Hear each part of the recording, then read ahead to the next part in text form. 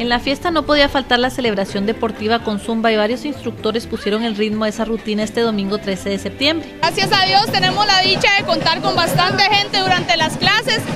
El proyecto empezó hace siete meses con un mínimo de 50 personas, pero desde la primera clase llegaron a 250 y las clases no bajan de 400 a 700 personas por clase. Es increíble la cantidad de gente que se moviliza.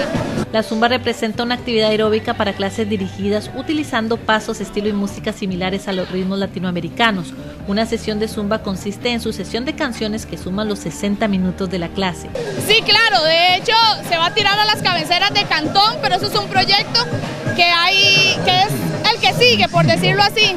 Se piensa tirar a lo que es Platanares, Pejivalle, eh, Cajón, yo creo que San Ramón por ahí, pero vamos a reclutar instructores para que cubran las clases, ¿verdad? Es un proyecto que nos da salud, nos da bienestar y es algo divertido, ¿verdad? Se sale completamente de la rutina y los invitamos a todos, martes y jueves, seis y media a siete y media y los miércoles hay baile de seis y media a ocho y media. Pueden venir con o sin pareja, que aquí igual disfruta. Son 200 personas a 300 personas que asisten al baile. Esta fue con tintes patrióticos y en el marco de la celebración del aniversario del Comité Cantonal de Deportes y Recreación de Pérez Celedón. Vieras que sí, no, más bien ha concurrido un poquito más, que ha venido más hombres, porque Zumba es para todos, es abierto para niños, para jóvenes, para hombres, mujeres, ancianos, adultos, siempre y cuando tengan la disposición y el cambio de que quieran hacer un cambio positivo en su vida, en su estilo de vida, ¿verdad?